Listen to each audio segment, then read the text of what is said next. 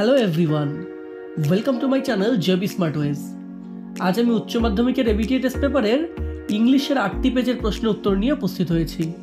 তো শুরু করা যাক আজকের ভিডিও